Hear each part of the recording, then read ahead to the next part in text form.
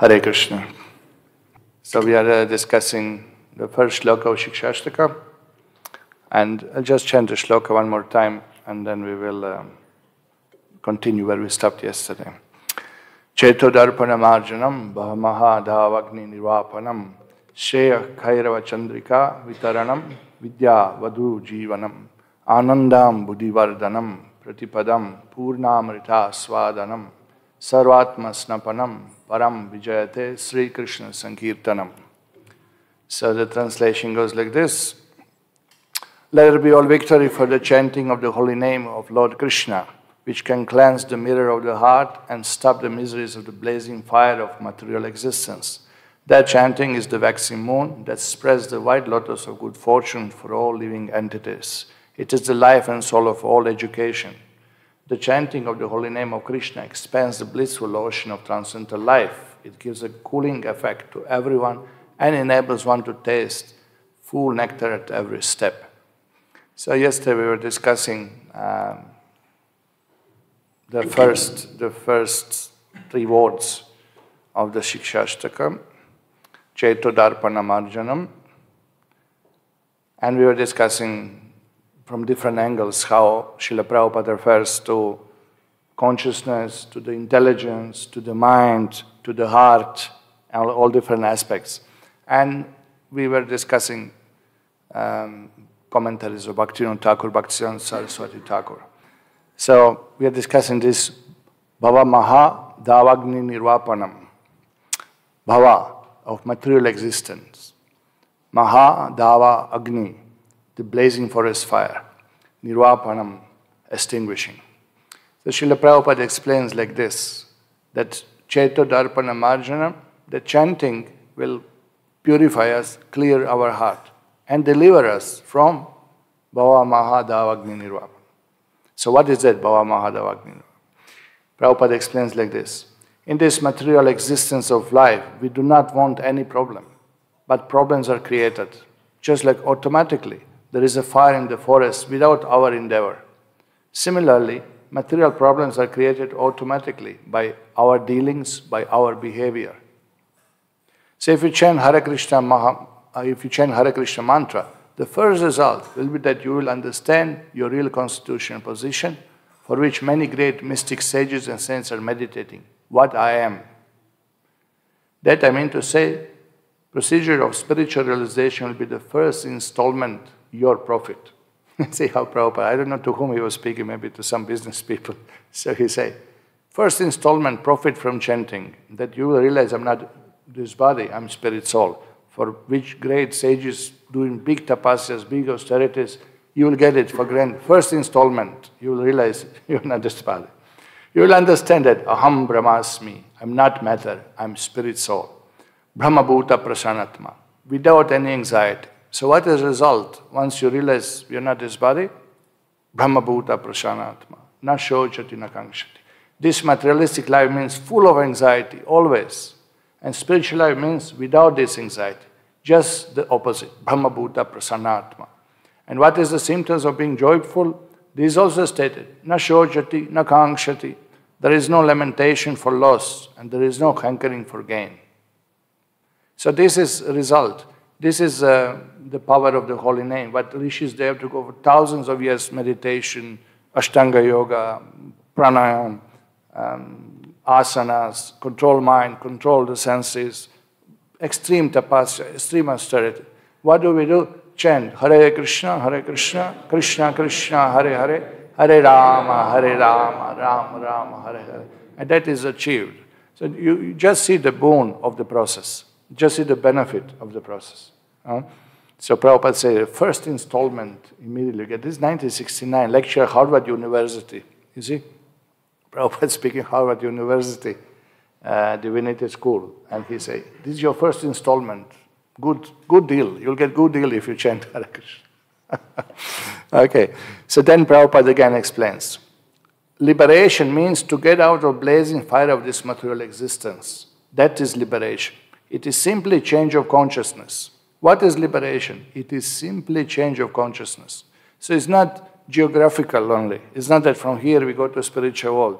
Spiritual is right here if we change our consciousness. It's spiritual. It's not that you have to travel somewhere physically. Even ihayasya haredasya karmana manasagira. Nikila.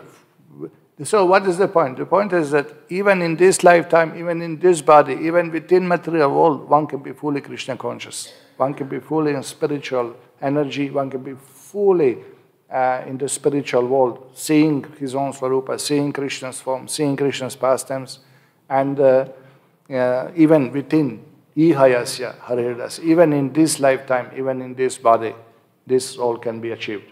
So it is simply change of consciousness that I am thinking in so many ways, my consciousness polluted in so many ways. But when you think that you are eternal servant of Krishna, that is your real constitutional position. Then that very understanding makes you liberated immediately. Therefore, we can say that Prabhupada is liberated soul. We can say Ramanujacharya is liberated soul, Madhvacharya is liberated soul. Why we can say? Because their consciousness is fully absorbed in Krishna and Vrindavan. But he has material body, but, but it's not material anymore. Matter is using Krishna service. Just like flower, you offer flower to Krishna. Is it material or spiritual? Is it spiritual? Why? Because by smelling it, you're getting uplifted, you're getting purified. Externally, he may show qualities of matter. He may dwindle, he may dry up next two, three days. But the, the benefit of that flower is fully spiritual. So even material body of the spiritual master is not material body, is spiritual body. May show symptoms of matter, that it will dwindle, it will get old, it will, it will perish. But when you offer pranam to the samadhi of the spiritual master, you can get prem bhakti. You can get, because that personality is present there. It's a spiritual, it's not material. Everything used by spiritual master, his pen, his shoes, his table, we don't use, we respect, we sit. Why? Because it was completely purified by being used by him into Krishna's devotional service. So this is all spiritual. Even touching his shoes, you, you get Prem Bhakti. So this is the power. So here the, the point is that Bhava Mahadavagni, free from material existence by change of consciousness, by purifying consciousness. And then immediately you are delivered. So Bhava Mahadavagni doesn't mean only that all our suffering will stop. When new person comes to the temple, we tell him to chant Hare Krishna and you'll be happy. So he thinks, how he thinks? He thinks, oh good, chant Hare Krishna, I'll get money, I'll get good wife, I'll get good health, I'll be better in life. Simply bless us. Bless us means, you know, let me have happy life. Happy life means let me enjoy life. Completely materialistic consciousness. But what is the blessing? By chanting you will be happy, that's for sure. You'll be happy as a pure spirit soul. You'll be happy as a pure servant of God. You'll be eternally happy by being eternal servant of Krishna. That is what they don't understand at the beginning. But by hearing, that knowledge comes. So real liberation means freedom from matter altogether, change of consciousness. Okay, then Srila Prabhupada explains this. As enunciated by Sri Chaitanya Mahaprabhu in his Shikshashtaka, Cheto Darpanamarjanam Bhavamaha Davagni Nirvapanam. As soon as one's heart is cleansed, the blazing fire of material existence is immediately extinguished. Look at this statement. Our hearts are meant for the pastimes of the Supreme Personality of Godhead. We are meant for that. We are meant to be with Krishna. What are you doing here in Salem? We are foolish, conditioned souls. What we are doing here? Huh? We are supposed to be with Krishna, dance with Krishna, play with Krishna, eat with Krishna, sing with Krishna, for Krishna's pleasure in spiritual world. But we are all stuck in material here, where we are, Karpur, very prestigious place, just next to Brahmaloka, maybe a little above. You understand our foolishness. We are meant, our hearts are meant for pastimes, Supreme Personality of Godhead. And we are doing all kinds of other things and suffering because of that. That is ignorance. That is foolishness of jiva.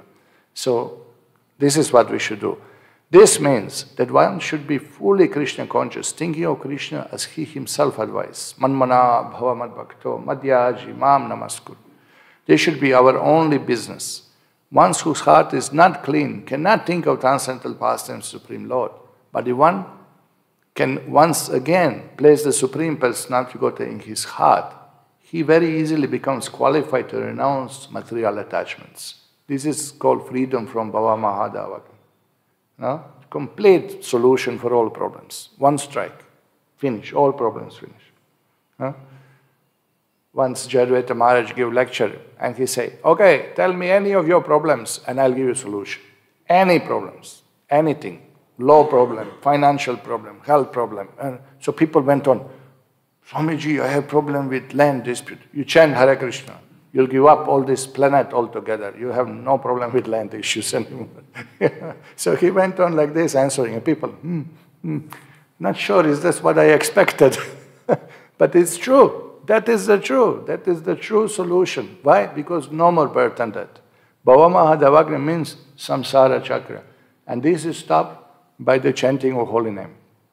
Then how? Cheto Darpana Marjana, that consciousness is purified. One consciousness is pure, we see ourselves, we see the Lord, we see the matter, we see the spirit, we see the kala, we see the karma, and then also we see Swarupa, we see the Lord, we see the past tense, we see reality.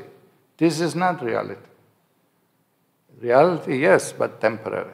So not real place for us to enjoy. That's, a, that's an illusion. Okay, so everything comes from a holy name. This is the point here. And the result immediate is Bhavamaha Davagni. Mm-hmm. So Prabhupada goes on explaining. As one cannot stop a blazing fire by constantly pouring ghee upon it, one cannot satisfy oneself by increasing plans for sense enjoyment. The blazing fire is Bhava Mahadavagni, the forest fire of material existence. This forest fire occurs automatically without endeavor. We want to be happy in material world, but this will never be possible. We shall simply increase the blazing fire of desires. Our desires cannot be satisfied by illusory thoughts and plans. You, you see, this is the problem. This, this little paragraph here is against all world old world, everybody, every country, every teacher, every poet, every artist, every singer, every PhD, everyone is telling us how to enjoy in material world. And Prabhupada says it will never be possible. It is not going to happen. This is only education through Guru Parampara, only truth you can hear through Guru Parampara. Nobody else tells us this. And we, it's our duty to tell everyone. You know. And then uh, when we speak like this, foreign people usually react. Oh, you are very negative, you are very depressive, you are not enthusiastic about, you should be positive. Why we are not enthusiastic? 4.30 in the morning we jump and dance, very enthusiastic. Because we don't want to take birth again in this material. Because we cannot, we are convinced, we cannot be happy by material sense gratification. We are convinced. Why we are convinced? We believe Prabhupada. We believe. We saw his consciousness. We saw his devotees, disciples' consciousness. We saw these are devotees. We saw they are happy. They are peaceful. They are satisfied. They are happy. They, they dance, they sing, they are well wishers. They are not bewildered by lower modes. We are seeing the result. We, are, we have good fortune to see Prabhupada's videos, Prabhupada's lectures, Prabhupada's uh, memories. And we can see his disciples who are dedicated, who are sincere. It works. Krishna consciousness works. And you show me one karmi who is happy, except people from mental hospital. They think they are happy, no? Come on, let's be realistic. No? So you see how Prabhupada speaks. This is, this is reality, this is the truth, and this is what we have to preach. So, Rather, we have to follow instruction of Krishna, Sarva Dharmam Parityaja Mame Kam Sharanam Vraja. Then we shall be happy. Otherwise, in the name of happiness, we shall continue to suffer miserable conditions. No? In the name of, you know, how, so what happened? I tell you, uh, one family came to me and said that they, you know, came, oh, nice, this, that. We, we just went to the South Pole with cruiser. We cruiser the went South Pole. So what is your reaction? Wow, South Pole. cruiser. And we saw the penguins and we seen the dolphins and we seen the whales and say, you know. Okay, so that was introduction when five, six people were sitting in the chair, you know. So anyway, big conversation gets left out. So myself, Divya Prabandha and this couple left. You know, everybody else left. And they were boasting about this journey so much.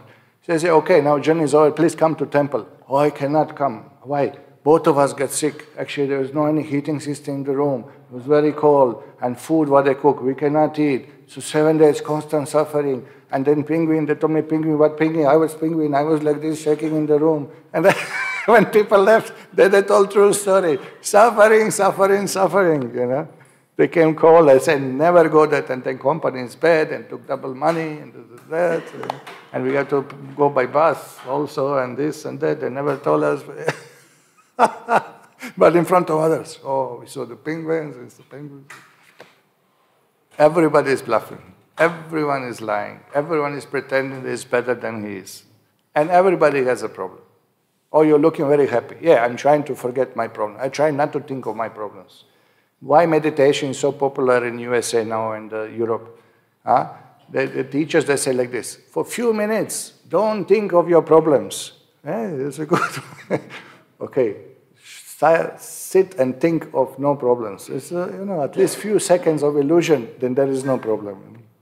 Bogus, bogus idea. Okay, so now the Prabhupada goes on explaining the Krishna mantra also uproots samsara. Lord Chaitanya confirms this in Shikshashtaka, where he says, Bhava Mahadavagni Nirvapanam. The congregation chanting of the Hare Krishna mantra extinguishes the blazing fire of repeated birth and death. And this is exactly how Bhaktivinoda Thakur starts his commentary. This is how he says, The purport of the word bhava is the jiva is being subjected to take repeated births in this world and continuous cycle of birth and death called Mahadavagni or blazing fire. A raging conflagration that cannot be extinguished by any means other than congregational chanting of Krishna's holy name. Now, this is very subtle point Bhaktivinoda Thakur pushes here. There is no other means.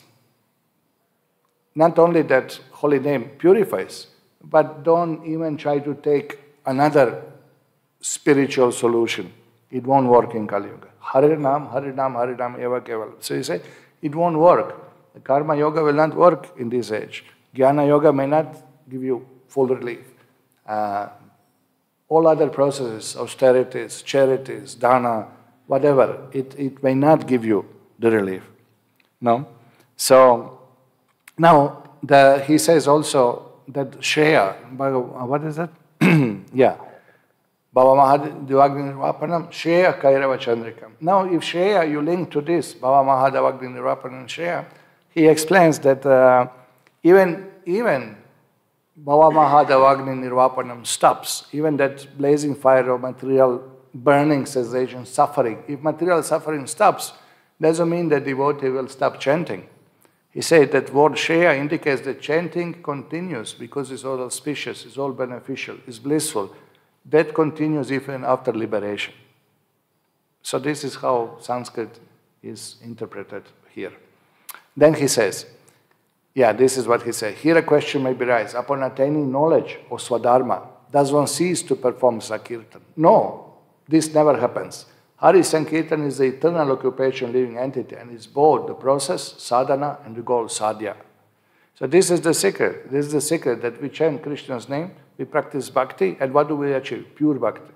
What do you do in spiritual? Chant Krishna's name, serve Him. Well, like you are doing here, cooking for Krishna, dressing Krishna, bathing Krishna, singing for Krishna, playing with Krishna, associated with Krishna, seeing Him, thinking of Him, everything is same. All right, Srila Bhaktivinoda Saraswati Thakur says here, this material existence only appears to be sweet and pleasurable but in reality is like a fire in depths of a forest, which can sometimes burn the entire forest to ashes. Correct? So look at this observation. Appears to be sweet and pleasurable. And that's exactly how it's presented to us. You know? Non-devotees who have no faith in Lord Krishna have to continually tolerate the searing burning pain of this forest fire of material existence because there is no solution. There is no solution. Somebody dies, and they are so attached to him. And they cry and cry and cry and cry. And then another karmi comes and consoles them. what to do. You have to accept these are the facts of life. Life is like that. There's no solution. Life is not like that. We can achieve eternal life. We can stop repeated birth. They do not know about it. Therefore, the, the, the, no solution. So they have to adjust their mind. No? Adjust their mind. When we talk about that, nobody likes to hear. Nobody likes, no karmi likes to talk about that. What's wrong with you? Why speak about that all the time? but this is reality. Dead. No? We are seeing it differently. No, devotees they see differently. What is life? What is death? What is what is the purpose, goal of life, you know? Everything is different for devotees. So here, they have no solution, they have to constantly tolerate. On the other hand, when Lord Krishna's name is perfectly chanted, the devotees are protected from these scorching flames, even though they are in the midst of the forest of material world. So again, Bhaktisiddhanta confirms what Bhaktivinoda Thakur said. Even in this lifetime, you can get liberated. We don't have to wait for next life to become Krishna conscious. Even this lifetime, even in this body, in this place, we can become Krishna conscious. We can be free from that suffering of material um, difficulties. Adhyatmika klesha, adidaivika klesha, adibhautika klesha. We, we, we can be spared, we can be safe from those sufferings. Okay, okay, we'll continue. Uh, Shaya Kairava Chandrika Vitaranam. Shaya of good fortune. Kairava, the white lotus. Chandrika, the moonshine. Vitaranam, spreading. Now, Srila Prabhupada explains. Shreya Kairava Chandrika Vitaranam. His life becomes completely auspicious. Then he actually life begins. Prabhupada said life begins with spiritual life. That's why he said Diksha means birth. Actually, your life starts with Diksha. Otherwise, just dead. Guaranteed dead. So life starts, real life starts, real meaningful life, real life of the soul starts with service, with devotion, beginning of devotional service to the Lord. So he said like that. Then he is actually blissful life. Shreya Kairava Chandrika Vitaranam. Just like moon rises from the new moon. Gradually the moon rises into the full moon. Therefore Chandrika, Chandrika, this very word is used. Why? You know, the young moon, just one tiny, tiny line you can see. And then when we chant, it grows, it grows, it grows, it grows to the full moon. So that is why Chandrika is used. Shreya Kairava Chandrika. We continue chanting. We continue chanting and we'll be benefited. All auspiciousness will come upon us. We'll become free from material designations. We'll see our own Swarupa, we'll see Krishna, we'll achieve our spiritual identity. That is the message. So Prabhupada said, it is compared with the moon, just like on the Pratipad. Pratipad, I think this is little spelling, typing Pratipad, no? The first day on the moon. After the new moon, you see the moon just like a line. The next day it becomes a little more, next little more, just like Pratipad. On the 11th day, it is uh, practically full. On the 11th day, we observe Ekadashi. And then after four days, full moon. The whole world is full of light. So Shaya Kairava Chandrika. As soon as this Bhava Mahadavagni Nirvapanam, as soon as we get rid of this misconception of identifying this body, then our real blissful life begins. Gradually develops just like the moon develops. So that is the comparison. So we continue chanting, we get result. We just continue, continue chanting. That is recommended here. Okay, Prabhupada goes on explaining little moon in, in a little different way. Just like you have seen the waxing moon daily increases, similarly your transcendental blissful life will increase daily like the moon. And one day it will be like a full moon. And at that time you will enjoy life. You will understand. And what is that stage? Brahma Bhuta Prasanatmana Shojanina Kankshati Samasarveshu Bhutashu. Your life will be sublime. So practice it, practice it. Make an experiment of this mantra. You'll be happy. Our mission is to see everyone. Sarva Sukhino Bhavantu be everyone happy. We are not here to exploit somebody. We are not selling this mantra, but we are distributing free. Please take it and be happy. That is our mission. Prabhupada's speech in London, 69. Just see, you know, he's, he knows he's a pure devotee. He have realized it. He is already free from Bhava Mahadavagni. So he wants to benefit people. He's pleading. He's, he's please chant, please try. And these are all foreigners. You know, but we want to go to the moon. You know, this mind is so disturbed by Western people. And then Prabhupada went on preaching, preaching, preaching, and by his purity he influenced. By he, Krishna used him as an instrument, and he could convince so many people to start chanting, practicing this. And the result, they have seen the result, they have achieved result.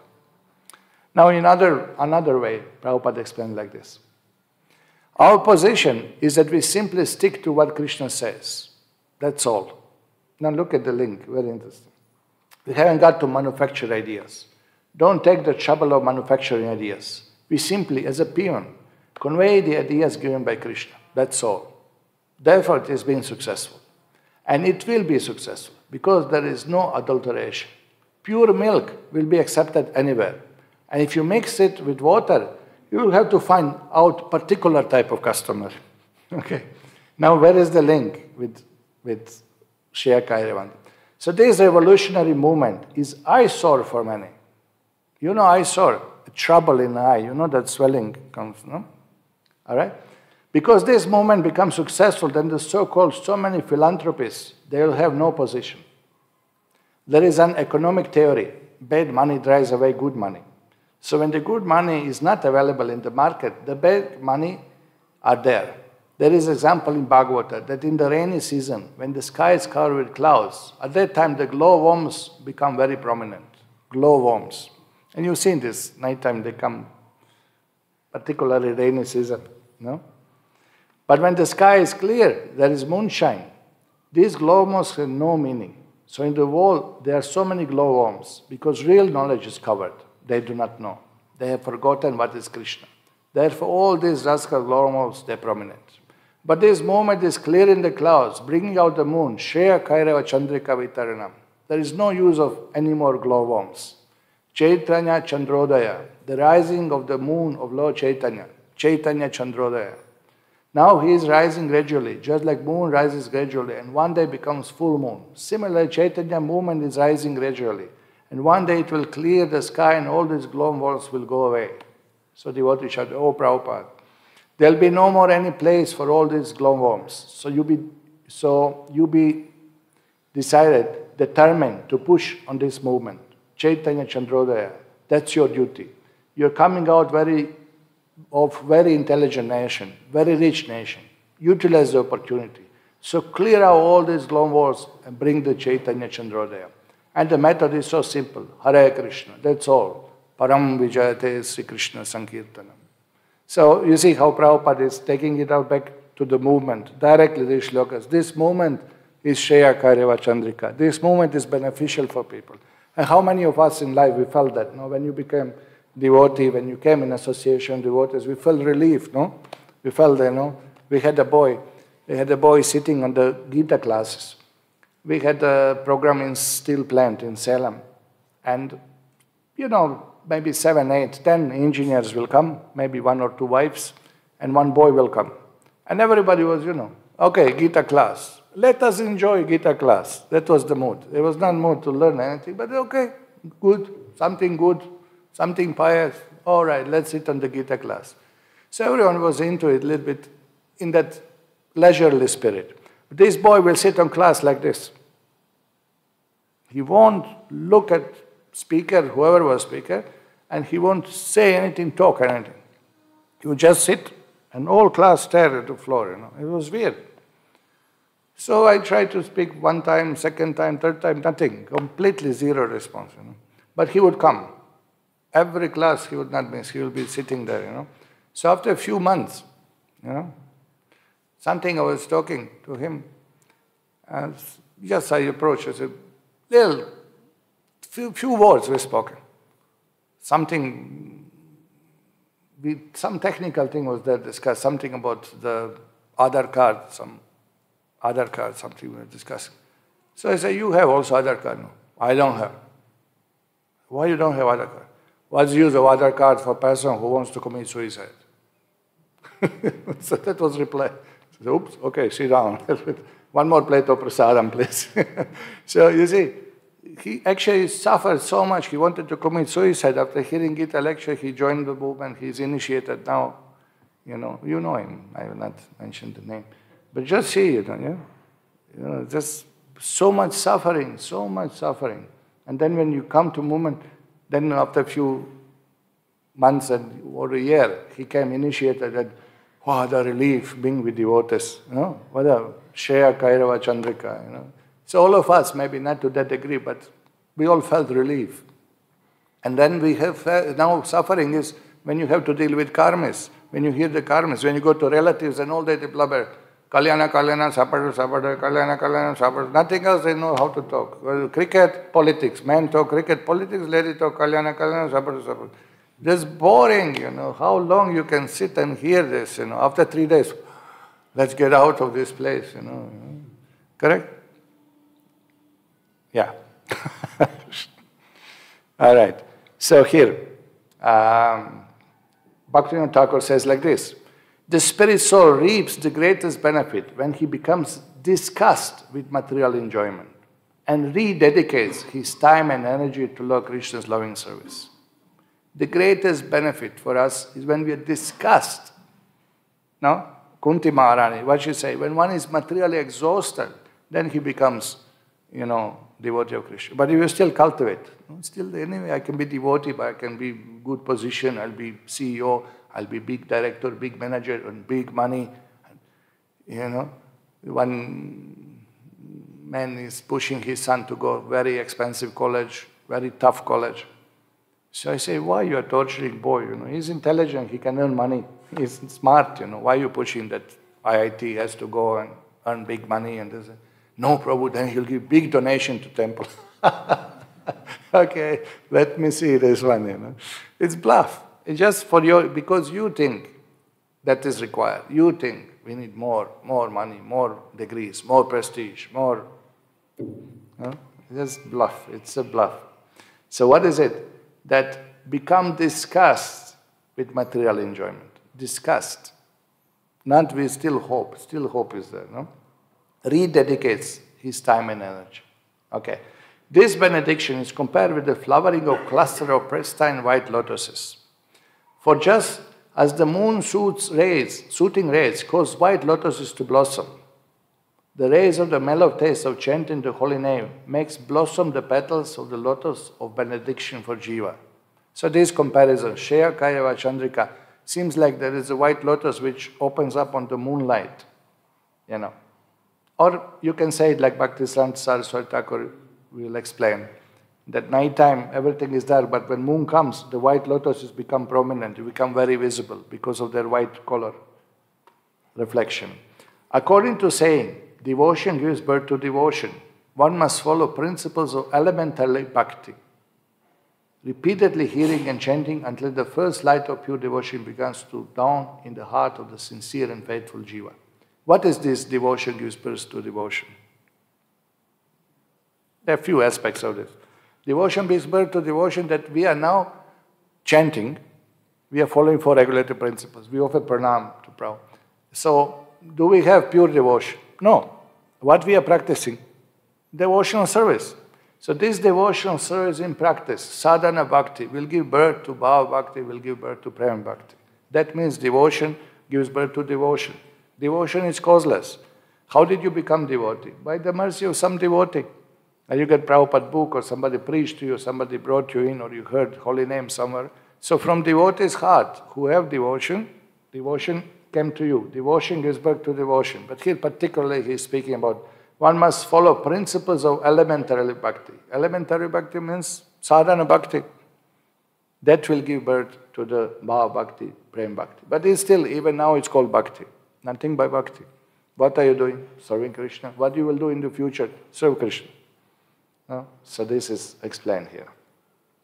The comparison of congregational chanting with the moon is quite appropriate. The closed lotus flower touched by the moon's ray awakens to full blush. And similarly, the holy name spreads the rays of bhav, or spontaneous attraction for the Supreme Lord. It is the essence of Hladini, which impregnates Jiva's heart. Now we understand in bhakti, by the mercy of Radharani, by the mercy of transcendental pleasure potency, one experiences pleasure in spiritual life. Once you experience spiritual pleasure, we lose taste for material pleasure. Rati, or spiritual love, then lights up his consciousness, bestowing the highest benediction. This is what is meant by waxing moon that spreads the white lotus of the good fortune for all living entities. So now Bhaktivinoda Thakur gives that higher vision. Not only Bhava Mahadavagni not that we are free from material, but actually we are drawn into spiritual um, happiness by, by the mercy of Hladini Shakti, by the mercy of Hladini potency. So, here Bhaktisiddhanta Saraswati Thakur says like this Shreya means benediction, Kairava means white lilies, lotuses, and Chandrika are the rays of the moon. Just as by the illuminating rays of the rising moon, the lily's white beauty is highlighted in the night, similarly, the chanting of Krishna's name brings out the best in man and enlightens the darkened universe, showering it with divine benediction. Human society cannot benefit from material desires for sense enjoyment, speculative knowledge, or fruitive activities. But chanting Krishna's name blesses us with the greatest prosperity. Now, so this is really concise. Bhakti Saraswati Thakur just few lines, bang, straight, straight to the point. No? So this is how it is explained. Then, Vidya Vadu Jivanam. Now this is very interesting. When you see word-to-word translation, Vidya of all education, Vadu. Vadu means wife. Where is the wife in the shloka? Jivanam, the life. Now, is when we chant every day, no? Where is the word wife coming in the picture here? No? Okay, we'll see how it goes. So, Vidya Vadu Jivanam. Srila Prabhupada explains like this. As Lord Chaitanya says in the same verse, Vidya Vadu Jivanam, chanting Hare Krishna is the life and soul of transcendental knowledge. Now, chanting is linked to Vidya, and that also to the spiritual knowledge. We know there is Vidya and Avidya. What we call today Vidya what is called Vidya Mandiram school. It's Paka Avidya Mandiram school because this is, according to Vedas, ignorance. Material knowledge means ignorance. Why? Because binds you to the material world, binds you to repeated birth and death. So it's Avidya, no? So, as so far knowledge is concerned, you'll get it automatically. You'll get all knowledge. Our material condition life is simply due to ignorance. And when you come to Krishna consciousness, the full moonlight of Krishna consciousness, all knowledge will be at your feet. Everything you will know. Vidya Vadu Jivanam. No? So that, now this is, this is uh, interesting that, that um, the knowledge, we, by hearing, we get knowledge of Krishna. Okay. But this knowledge is not different from bhakti. Because this knowledge about Krishna, knowledge about Krishna's name, knowledge about Krishna's form, his pastimes, his leelas, his qualities, his abode, his associates. This knowledge invokes bhakti. Therefore, this knowledge is not different from the bhakti. This is not some dry, speculative knowledge of sense control, austerity, separate from Krishna, aloof from Krishna. No, because it's linked with Krishna, there is no difference. We say we practice bhakti, but doesn't mean we don't have any knowledge. But we are not going for knowledge per se, like uh, scholars, like uh, speculators, like uh, the pundits, you know. That's just knowledge for the sake of learning. I know this book, and I know that grammar I study, and I study this grammar, and I can tell this, and I can tell this. And whatever we know, we do it for Krishna. Whatever we know is about Krishna. So there is a big difference in linking. So many times devotees are accused that, oh, bhakti means no knowledge. this is all all good times when people used to study Shastras. You know, so Mayavadis, impersonalists, remember they accused Chaitanya Mahaprabhu. You're sentimentalists, you're just singing and dancing. No? You should study Vedanta. All right. So then there was discussion. Here you go. Just behind the altar you can see. There's big discussion. And what happened? The holy name reveals the true knowledge. And Chaitanya Mahaprabhu defeated all Mayavadis. And they agreed. Yeah, yeah, I know, we're a little dry what we were doing, but what to do? We did our duty. But now we know what is the goal of knowledge. Veda is just aham eva vedyaha. Krishna is the goal of knowledge. Krishna is goal of education. Krishna is goal of, of all intelligence, all intelligence, very purpose is to understand Krishna. So that is what is described here. Okay, Montreal. Okay, let's see how it goes. Chant Hare Krishna and hear, everything will come. Chant Hare Krishna and hear. Okay, now here implicates hear the sound of Krishna's name when we chant, and also hear the Bhagavatam class. that's, that's what it means.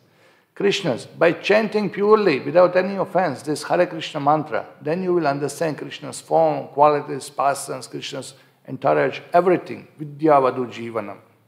That means Vidyavadu Jivanam. So not only that we will get freedom from material existence, but actually we will understand, we'll get the transcendental knowledge. Now back Bhaktivinoda Thakur, he explains like this. When the first rays of pure devotion finally appear on the horizon of the sadhaka's heart by his sincerely following the process of bearing and chanting, look at how he speaks, bearing and chanting. Then gradually Bhakti Devi, or the goddess of pure devotional process, the eradictor of all unwanted material desires, detrimental to the Lord's service, eclipses the avidya potency. So when we are sincere, we follow sadhana bhakti, we follow, we follow, we follow our regulative principles, we chant, we serve, we endeavor to control our mind, we endeavor to control our senses.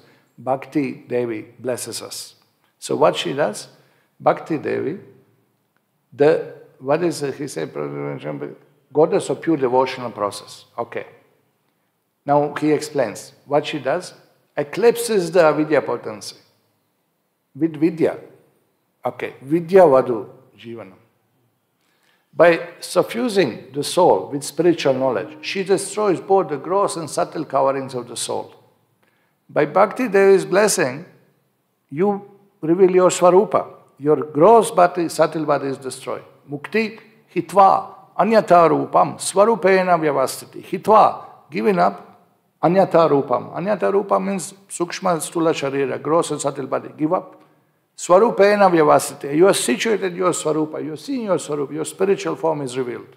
Simultaneously, the jiva's original spiritual form becomes manifest to the extent that he receives the form of gopi, for example, in his spiritual proclivity is steep into the conjugal, if his spiritual proclivity is steep in the conjugal mood. Thus it stands proven that Krishna's name is the life and soul of all transcendental knowledge, Vidya Vadu Jivanam. Swarupa Shakti has therefore often been described as Krishna's wife. Vidya Vadu Jivanam. Therefore, wife.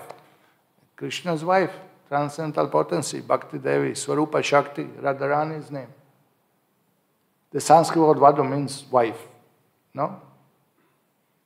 So th- this is the link. Why? What? By Krishna's wife blessing, we, we, get, we get the spiritual knowledge.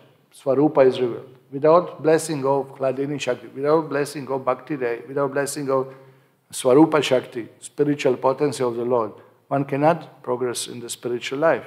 So you see how it's mentioned in one word, but we don't discuss it. We chant in the morning, but attention is not there. But in first shloka, everything is explained. First shloka explains, we are conditioned, our consciousness is polluted. Chaitodarpana Majram, chant. Param Vijayate Krishna Sankirtana, you chant Krishna's name. What will happen? Bhava Mahadavagni Nirvapana will be free from samsara chakra. What will happen?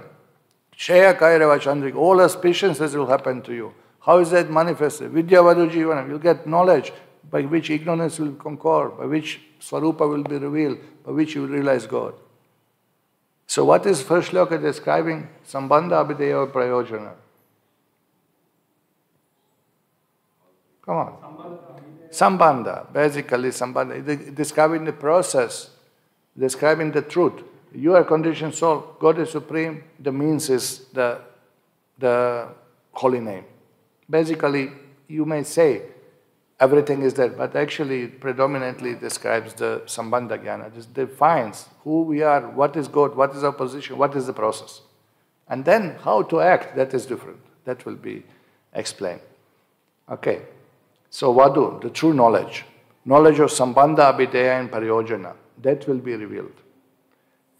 Flow the holy name, follow, okay, now what Bhakti Vinod Thakur says, Vadu, the true knowledge, knowledge of Sambandha Abhidheya Prayojana, follow the holy name like faithful wife follows her husband. So this is, we know from Bhagavatam, no? What is uh, Vasudeva Bhagavati Bhakta Yoga Prayojana? Janayat Yeshuvayaragyam Jnana Chayada come. That when you follow Vasudeva Bhagavati, when you practice bhakti to Vasudeva, Bhakti Yoga Prayojana, Janayateshu, it is generated, it is born. From bhakti is born what? Jnana and Vairagya. Automatically, ahaitukam. Janayateshu Vairagyam Jnanam Chayada ahaitukam. Gyan, Vairagya and Jnana, they follow bhakti. So he say, just like a wife follows her husband, the true knowledge of Sambandha Abhidheya Prayojana follows bhakti. So therefore, Vidya Vadu is used. That's another explanation why wife is used. Just like a faithful wife follow husband, the knowledge will follow bhakti. Okay. So bhakti, bhakti is essential uh, function of Swarupa Shakti. Swarupa Shakti, how many potencies God has? Hmm? Unlimited. Okay. That is one answer. Then, how many potencies Lord has? Bahiranga, Antaranga, and Tatastha Shakti. Okay. And then, how many potencies Lord has? One potency, Swarupa Shakti. Because from Swarupa Shakti, everything emanates. No? So, the, what is the essence of Swarupa Shakti? No? Um, the essence of Swarupa Shakti is bhakti. The essence of Swarupa Shakti, personified form of Swarupa Shakti is Shrimati Radharani. So, what is her essence? Hladini Shakti. Hladini. What is that? Transcendent pleasure potency. What is the idea? Serving Krishna, giving pleasure to Krishna. So, what is that concept of giving pleasure to Krishna? That is bhakti. That is bhakti. That giving pleasure to Krishna, acting for pleasure of Krishna, trying to please Krishna, dovetailing everything for Krishna our mind, intelligence, ego, feelings, acts, body, mind, soul, everything that is bhakti. So, this is the essential. So, the bhakti is present in the hearts of all devotees, pure devotees. Particularly, the highest devotees are gopis and Vrajvasis of Vrindavan. The highest of all of them is Srimati Radharani. So that, that, that Swarupa Shakti, consequently personification of bhakti. So this is why, uh, why Swarupa Shakti here? Vidya Vadu Jivana. Why Swarupa Shakti is compared to the wife? Because this is eternal concept of Krishna, Srimati Radharani. This is another explanation. So this is why devotees in Vrindavan freely call Radharani's name continuously. No? They know that by chanting Radharani's name, Krishna will be pleased. By chanting Radharani's name, I'll get bhakti. We also chant, correct? Hare Krishna, Hare Krishna, Krishna Krishna, Hare Hare, Hare Rama, Hare Rama, Rama Rama, Hare. Eight times Radharani's name, four times Krishna's name, four times Rama's name, correct? We are also same. First Hare, first Radharani, then Krishna. This is how it goes. This is Krishna's system. This is Krishna's system. Once somebody asked, Prabhuji, is it better to pray to, for Guru's mercy or Radharani's mercy? But this is same mercy. The, the Radharani's mercy goes to Gopis. Gopis' mercy goes to the Manjaris. Manjaris are our acharyas. Don't think this is some old Indian wise rishis. Bhakti Vinod Thakur, Gorkishore Das Babaji Maharaj, Bhaktivedanta Saraswati Thakur, these are all confidential devotees, all Manjaris and Gopis in Krishna Lila. Their mercy comes to the Guru Parampara, to us. It's the same Radharani's mercy. It's the same Krishna's mercy. Krishna's mercy is that we have Radharani. That is from his own body expanded transcendental potency. So this is this is uh, no difference. But Guru is accessible. Guru is here among us. How am I going to get Radharani's mercy? No? Get Guru's mercy. That's, that's the Krishna system. Krishna system. Evam parampara praptam. This is the Krishna's system that you go through the Guru, get Guru's mercy. That means you got Radharani's mercy. That means you've got Krishna's mercy. So therefore, Vadu is used. Okay. Um, now, you see, that, that we, we already mentioned, Vasudeva Bhagavati Bhakti Yoga Prayojita, Janayati Shivairagyam Gyanam Chayada to come. That from Bhakti, Vairagya and Jnana is born. We have in South India Tattvavadis. Okay? I'll not mention name of community, but you understand from Chaitanya Charitamrita who are Tattvavadis. Now, these are devotees of Krishna. Yes, but why Chaitanya Mahaprabhu called them Tattvavadis? They're more into Tattva than into Bhakti. Tattva means the truth. What's the problem with that? They are not Mayavadis. They are not wrongly speaking philosophy. They know philosophy. They know who is supreme. But they stress jnana over the bhakti. So, so one devotee went to their temple, and when puja started, only Brahmins were allowed inside that inner sector, you know. So this foreign devotee was looking, looking a little sad. So he was talking to one Brahman, and Brahman said, Sorry, I have to go now, you cannot come. And he said, No problem, by Krishna's mercy, next life I'll be born in one Brahmin family, and then I will also be able to do puja here to the Krishna's Murti, deity there. And this Brahman turned, Ah, this is perfection of knowledge. but it's not. That was devotee's humility. No, that was his humility, you know. So they think by bhakti you'll get knowledge. No? But it's opposite. Even when some of Tattvavadis dies, how they glorify him. What a jnani he was. What a knowledge. What a flow when he was speaking. Nobody says what a devotee he was. You know, he was great devotee. He left us. We have said. He was dedicated to Krishna serving. Nothing like that. They only glorify how much he knew, what book he wrote, and you know uh, how many lectures he given, and how he explained this, and how he knew grammar, and how he could you know, comment on this one and that one, and you know. And I was sitting there thinking, my goodness, this is Tattvavadi, you know. So we are not like this. But doesn't mean that we don't know anything. No? We should study Prabhupada's books. This much we should know. We cannot study Vedas, we cannot study Vedanta, we are fools. It's a difficult one. But we can know Prabhupada's books by his mercy. We can endeavor and read again and again and discuss again and again and try at least this much to please Him, and then the knowledge will be revealed by the Bhakti Devi. Knowledge will be revealed. Um, everything will be revealed. So Bhaktivinoda Thakur goes on quoting uh, in his Bhaktivinoda Thakur commented on uh, Shikshashtaka in different places, in different books. He gave a different explanation. There is book Bhajana Rahasya, The Secrets of Bhajana, where he quotes to support this point, Vidya Vadu Jivanam. He quotes from many, many different shlokas. He quotes Garuda Purana here. Look at this. Yat ichasi param jnanam jnanat yat paramam padam tadadarena Rajendra kuru govinda kirtanam. O best of king, if you want to achieve the highest knowledge by which you may attain the supreme abode, paramam padam, then perform Govinda kirtana with firm faith. You see that? Very good sloka, no? Yat ichasi param jnanam. If you want the best knowledge. Jnanat yat paramam padam. That knowledge will take you to the param padam, paramam padam, supreme abode. Tadadarena Rajendra, kuru, Govinda kirtanam. Better you do kirtan, better you chant holy name. So this is that bhakti, the holy name will give you knowledge. Transcendent knowledge will be revealed by chanting. Then he quotes another shloka, Bhagavatam.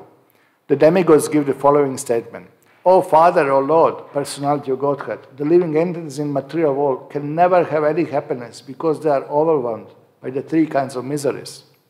Therefore, they take shelter of the shade of your lotus feet, which are full of knowledge, and we also thus take shelter of them. Now you can see here, uh, Bhagavatam Tavangri Chayam Sa Vidyam Ata Ashayema, that your lotus feet are abode of knowledge. So again, knowledge is not practiced separately, it's practiced as a devotion.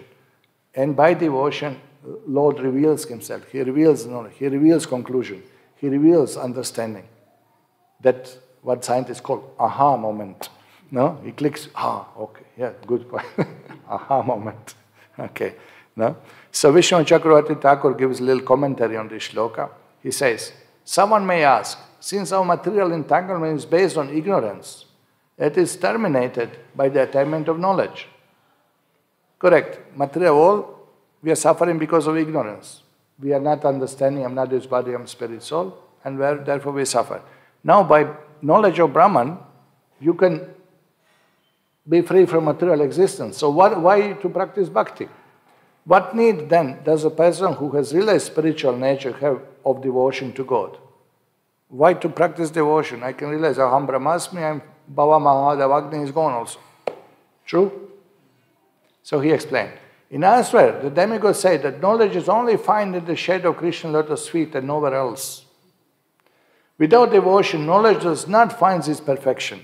You will go to Brahman, but soul will not be satisfied in Brahman because there is no devotional service. Did you did not take shelter of the lotus feet? Avishuddha buddhi. And then ado. Again one will fell down. One will have to take birth in material world, even from Brahman. So those who claim to have spiritual knowledge but have no devotion are in fact false jnanis. These are not real jnanis. They, their knowledge, avishuddha buddhi, imperfect. Their intelligence is not clear because they do not know that actually perfection of knowledge is to attain lotus feet of the Vishnu. Moksham Vishnu Angrilabham. Moksha doesn't mean merging Brahman. Moksham Vishnu Angrilabham. Attain lotus feet of the Vishnu. That's the, the definition of moksha. All right. So, these are some shlokas quoted. Um, then, in another way, Bhaktivinoda Thakur explains why, why, why, why um, Vidya is uh, used as a wife. Why, why this Vidya, Vadu is used, shloka. Srimad Bhagavatam, look at this for Gurukula teachers.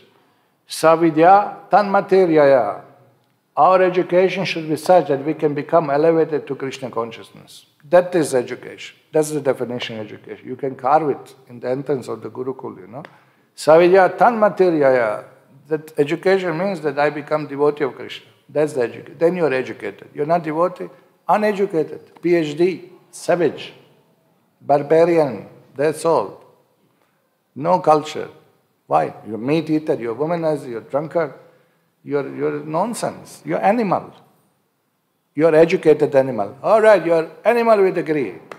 it's still you're animal. No? no?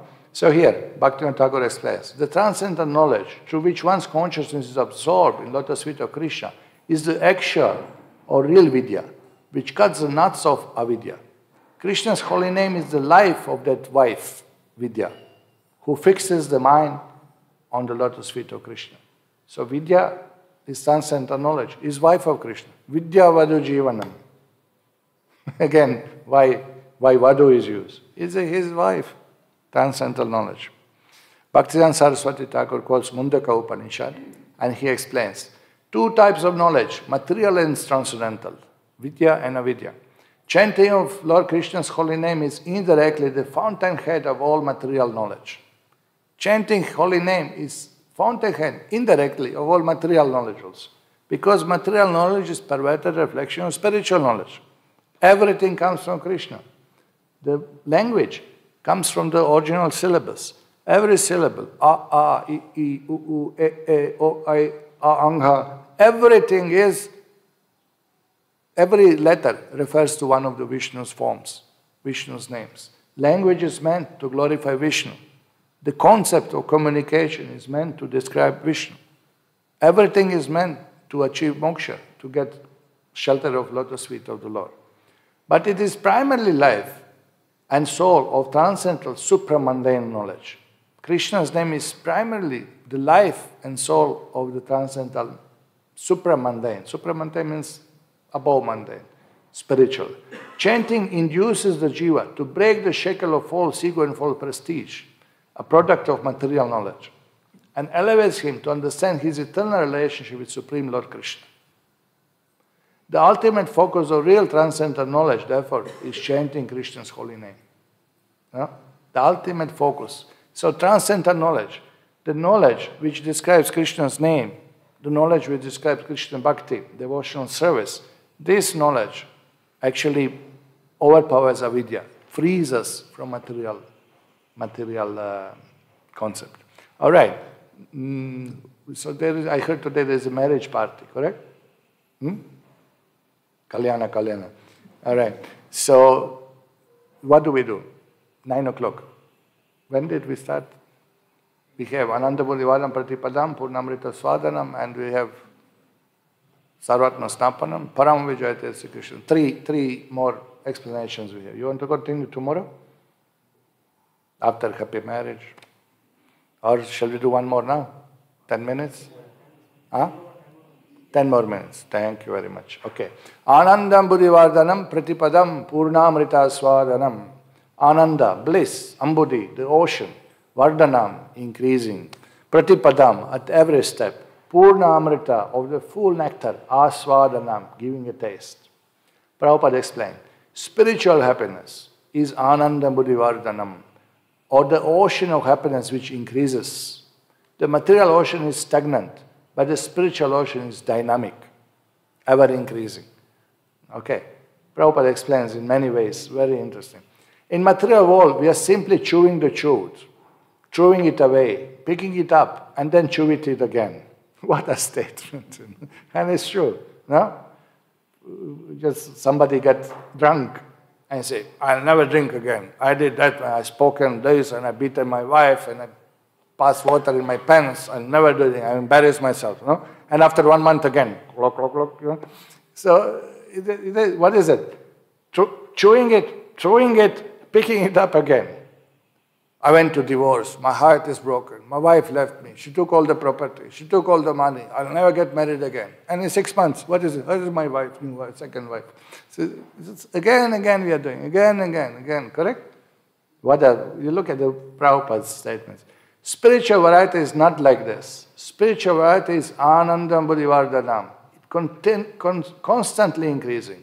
It is even greater than the ocean because the ocean does not increase the shores of the ocean are set, they have certain limits. However, the ocean of bliss is constantly increasing. The more we enter into spiritual bliss, the more we become joyful. The young people in the Hare Krishna movement chant Hare Krishna mantra all the time. If this mantra were material, how long would they chant it?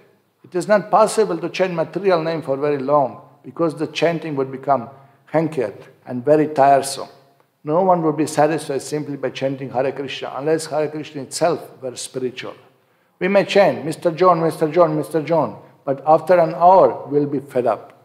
However, the more we become spiritually advanced, the more bliss we'll derive from chanting Hare Krishna. Is it true? True. We can experience Ananda perfectly in association of Krishna. We can associate with Krishna as a servant, friend, father, mother, conjugal lover. There are five basic rasas Shanta, Dasya, Sakhya, Vatsalya, and Madhurya. So now this is, this is the thing. Prabhupada just give you one sentence here. Bhaktivinoda Thakur gives like this purpose about these rasas now. so it goes that what, what is Anandambudhi Vardhanam? Once you have your spiritual form, then you have spiritual senses, then you are in association with Krishna. You're seeing Krishna, smelling Krishna, touching Krishna, serving Krishna, sharing ladus with Krishna, playing it. It is so much overwhelming ecstasy. That material world is, what is the memory of Jiva who comes to spiritual about material world? Some nightmare, some bad dream, I don't want to think about it. It's just like that. That is experience left in mind. Some nightmare I have, some bad dream. Nobody was, oh, it's better spiritual, better material, better. No comparison like that. Okay,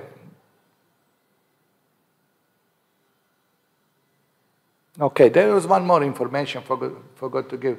Vidya, for previous Vidya Vadhu that also in the explanations of Divya Saraswati, Lord Nrsingadeva's wife, uh, who gives transcendental knowledge, who initiated Brahma. Now, the, hey, the woman was the first guru to Brahma. But who initiated her? Krishna, the male, sorry. so sometimes Vidya Vadhu Jivanam, Vidya Vadhu, Vidya, the personification, transcendent knowledge, Divya Saraswati, so refers to her also in some commentaries.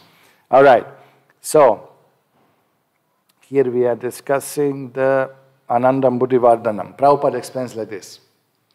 Uh, by chanting Hare Krishna, our pleasure potency increases more and more. One who has realized Krishna is always living in Vrindavan, Vaikuntha, The devotee may, may seem to be living in some place far from Vrindavan. He is always living in Vrindavan because he knows that Krishna is present everywhere, even within the atom. The Supreme Lord is bigger than the biggest and the smaller than the smallest. Once we are fully realized and established in Krishna consciousness, we never lose sight of Krishna. And our bliss is always increasing. This is the true yoga system, Bhakti Yoga, as expounded by Lord Krishna himself in Bhagavad Gita. So, this is, uh, they asked Prabhupada, Are you missing Vrindavan? And Prabhupada said, I always in Vrindavan. And that was in some apartment in USA discussion. No? And not only that, but he turns all place into Vaikuntha. When you come in presence of pure devotee, everything change, consciousness change, everybody is influenced, everybody is completely turned into the spiritual, spiritual, uh, and works under spiritual potency at once. So here, Prabhupada explains this, that, that um, pure devotee never loses sight of Krishna. There was a simple incident, very interesting also, that uh, Bhaktisiddhanta Saraswati Thakur was invited for some for darshan. He came for darshan of the deities in the temple, and there was little distance to the deities. Quite some distance, and he didn't have his glasses. So one of the disciples said, Maharaj, would you like to come a little closer so you can see Krishna? And he said, Do you think by material vision I can see Krishna? He is the seer. So I came here. When he sees me and he desires to reveal himself, he will reveal himself. No glasses will help. he didn't say no glasses. I say no glasses will help. But you understand the complete different vision. He's very confident. We came for darshan to be seen by Krishna. He is the drishta. He is the, he is the seer. And we are to be seen. We are his servants. And when he wants to reveal himself, he will reveal himself. No glass is needed at that time. No? So complete different consciousness. No? So this is, this is amazing. All right. So here Bhaktivinoda Thakur explains, Ananda Mudivadana. The gross and subtle material bodies of Jiva being completely destroyed the infinitesimal soul regains his original pristine purity. Okay, so again, mukti, moksha, moksha, liberation, spiritual form revealed. Although the jiva is anu, or minutely small, his spiritual happiness is not minute. To remove this misapprehension, Lord Chaitanya adds, Anandambudhi Vardhanam, every ever increasing ocean of bliss. In other words, the holy name of Lord endlessly expands the spiritual bliss inherent to the soul by leaps and bounds. So the point is that, that because Anu Atma, you say, oh, we'll have less, less, smaller degree. We have small quantities, Krishna has big quantity. We have small, same quality of Krishna but small. Actually, we say quality is equal, quantity is equal. Maybe quality is not equal. Qualities, even qualities you can compare to Krishna's qualities. But you may say in one way is equal. All right. So he thus becomes eternally fixed in one spiritual mellows, namely Dasya, Sakhya, Vatsalya, or Madhurya. Establishing his eternal spiritual mellow, he begins to relish limitless nectar at every stage of his transcendent relationship and exchanges of extraordinary loving emotions with the Supreme Lord. Remember what Prabhupada said? Our hearts are meant for Krishna's pastimes. And this is what Bhaktivinoda Thakur said extraordinary loving emotions with Supreme Lord. Now, sometimes you in family, we, how much children give us pleasure, or wife speaking sweetly like a cuckoo gives a pleasure, or you know, they, we have some friendship, we feel so much pleasure. Can you imagine become friend of Krishna? What a friend is that? No? Can you imagine become lover of Krishna? Become mother of Krishna? These are amazing feelings, this is intensity. And when you feel good that your friend likes you, no, you feel good to be liked. How much Krishna can like who is unlimited? No? This is amazing if you think about it. We are thinking theoretically, of course, of course, don't be so. the Supreme Lord, Krishna is exchanging beauty, His divine qualities, enhancing beauty, Krishna's enhancing beauty, his divine qualities, his sublime pastimes are ever aesthetic and eternal. Krishna is now a Yovanam. Every day he is completely new. It's not that, oh, I already saw him, I already saw him. No, when we go to around the temple, you know, sometimes people come to temple and come out, they don't even look at the shikar or something, you know, because every day they are coming, no? But when people come first time, oh, oh, oh, what is it? You know, shocked completely, no? But for us it's common. But doesn't happen with Krishna. We go to see Krishna every day, every day. Oh, how beautiful it is. Newly, Navayauvanam, completely freshly, he impresses you like first time you are seeing him. Completely new way attracts you. And same Krishna, same form, same everything, but everything is different. New experience, Navayauvanam, ever fresh, never boring, never, never satiated with, never enough. In a bride, with the divine prem, the pure jiva continuously drinks that sweet nectar, but still the Lord's captivating beauty remains ever fresh and ambrosial, relished in endlessly unique and novel ways. So this is again, Bhaktivinoda Thakur just points out. And uh, he quotes, in Bhajana Rahasya, he quotes a few shlokas. Now this is from Gajendra, uh, Gajendra Moksha prayers. Ekantino yasya kaschanartam ekantino. Okay? Um, okay, let me read translation. Unalloyed devotees who have fully surrendered to the Lord, this is ekanta, seek no benediction other than to serve Him, constantly singing the glories of His most wonderful personality and activities, they merge into an ocean of transcendental bliss. So here, Anandambudhi Vardhanam is explained, singing about Lord, singing His name, singing His qualities, singing His pastimes. So what is the Vishwanatha Chakravarti Thakur explains a little bit the shloka that ekantino, ekantina, those who do not take shelter of any demigods, those who do not take shelter of the jnana or karma, fruitive activities or speculative knowledge, ekanta, those who are one pointedly focused on lotus feet of Krishna, these are the pure devotees. And that you will find throughout the Bhagavatam, this ekanta bhakti. Tavaikanta Bhaktashu, Aham Tvam Hare Pada Ekait Mamula, Dasanata Subhavirasmi Bhuya.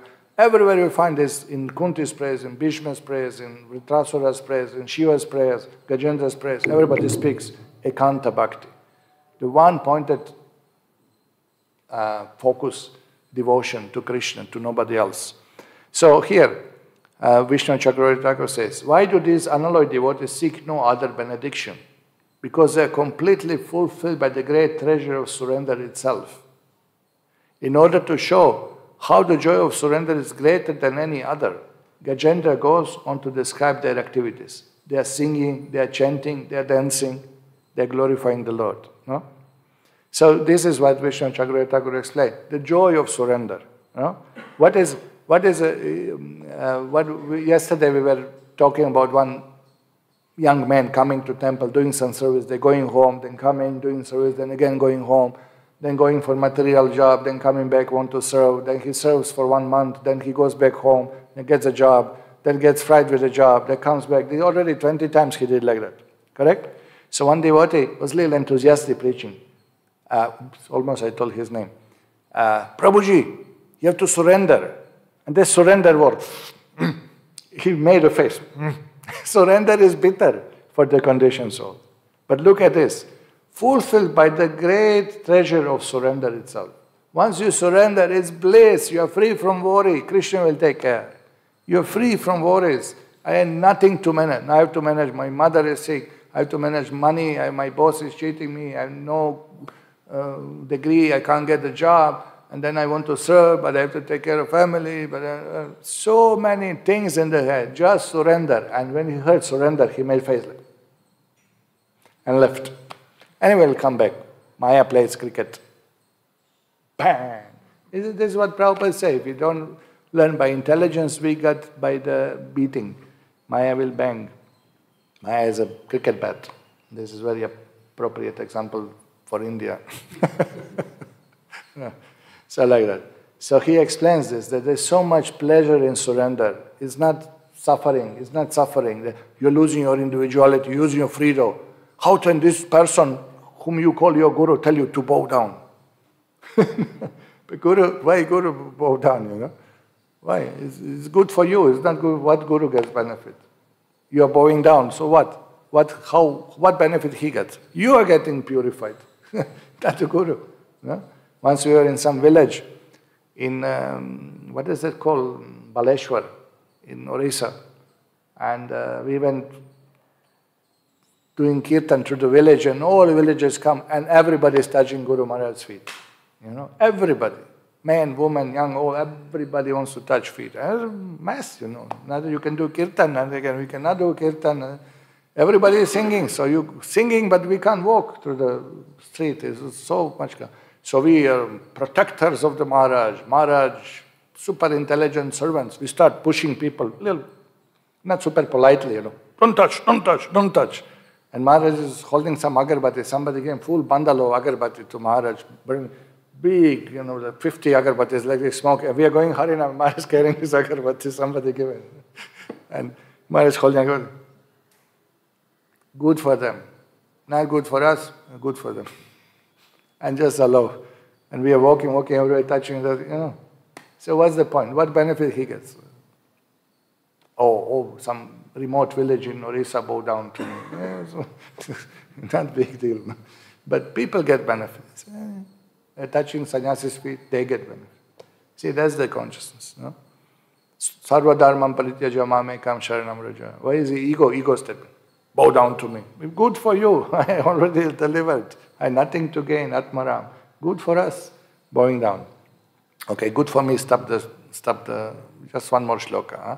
Then Bhaktivinoda Thakur quotes Padyavali and um, says like this May my respectful obeisance be given to the shoes of those wise devotees who have learned the technique of liberating the poor creatures who are caught in the stinking mud of the ocean of material existence. Look at this look. One simply hearing the two syllables of Krishna's name, these devotees are overcome with bliss and their bodily hair stands erect. So again, he is telling by chanting, you get this Anandambudhi Vardhanam, transcendental bliss. And look how nice shloka is there. I offer pranam to shoes of devotees who are going and preaching around and delivering for the souls. And what are their symptoms? Just by hearing your holy name, their hair, pulakari nichitam vapukada, sada, all the time their, their, their uh, hair stands at the end and they experience these symptoms. And uh, here is how Bhaktivinoda Thakur concludes. He says, um, One who gives up everything to devote himself to kirtan alone becomes immersed in an ocean of ecstasy. This is Bhaktivinoda Thakur's conclusion. This is, this is understood by studying all the shloka. This is what I understood. so, this is good message for us. Bhaktivinoda Saraswati Thakur says, Anandambudhi Vardhana, he says, chanting the holy name expands the boundless ocean of transcendental bliss and enables one to fully relish the sweetest nectar at every moment. Only a vast expanse of water is called an ocean, nothing less. Therefore, unlimited bliss has been rightly compared to an ocean. Such transcendental experiences are these, uh, as these are eternal and unfettering by imperfection, nor does it lack fullness or consistency. So these are perfect Purna feelings. These are completely, fully manifested feelings of the soul. Now we have feelings filtered through our mind, our filtered through intelligence, our feelings through the senses, our feelings completely mess up with our concoctions, contaminated consciousness. The pure feeling of the soul, how strong it is. No? Sometimes you are so much knocked out by feeling that you're dysfunctional. You know, somebody dies or something, even happiness. Sometimes people puzzle. People come for initiation and the Prabhupada asks, what are the four regulative principles? Paralyzed completely, you know, overwhelmed by the emotions. No? no? One devotee said in memories, he came there and, and sat in front of Prabhupada and uh, Prabhupada was holding Japamala, so he extended left hand. So Prabhupada pulled back Japamala. He didn't know why. He didn't know left hand, right hand. No, Western. He didn't know. So he told, You're not going to initiate me. I'm so bad. I'm so sinful. Prabhupada is rejecting me. Then again, Prabhupada is showing Mala. Again, he went with left hand. Again, oh, second time, I'm finished. I'm finished. Mind goes crazy. So emotional, you know. Then Prabhupada turned to servant. Tell him, So then Saraswati said, right hand, right, okay, right hand. Then he put right hand. And Prabhupada has to ask four regulator principles. You know, and this devotee is praying, Prabhupada, already embarrassment, already mess. I'll, I'll collapse. Don't ask me, please don't ask, don't ask me for four regulator principles. And Prabhupada looking, looking, all right, your name. He didn't ask him for principles. then the devotee say, Prabhupada, now after 30 years later, on your Vyasa Puja, I promise, Prabhupada, I'll follow for regulator principles. I have to give commitment. 30 years later, in front of Prabhupada Murti, committed. Because I know it. Your commitment is, you are committed to deliver me. My commitment is, my commitment is to follow you. So after so many years. But just see this emotion, how strong it is. They were all practicing for regular prayers, for regular, follow regular, and then you come in front of proper, completely paralyzed, left hand, right hand. You had experience for your own diction, no? That some everything becomes a little different, you know, kind of mind is not really present and intelligence is a little clouded. Correct? So can you imagine pure feeling? This is also feeling coming from that importance of Diksha. But can you imagine seeing Krishna? Can you imagine dealing with pure devotees or anything like that? No? So they are not lacking any fullness or consistency. These are eternal, ever increasing feeling.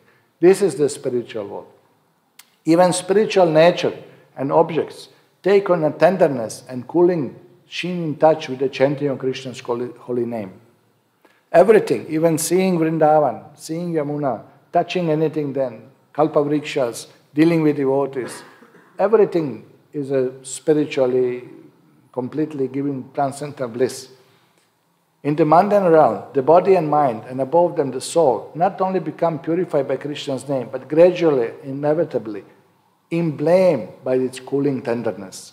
And while we are in material world, if we chant Krishna's name, this even, even in this realm, we are in, in bound, in blend. We are, we are protected by the holy name and its cooling rays. That, that also suit us in material world that we will feel relief, you know. Okay, Sarvatma Snapanam tomorrow. Thank you very much for coming and hearing. Hare Krishna. Srila Prabhupada ki jai.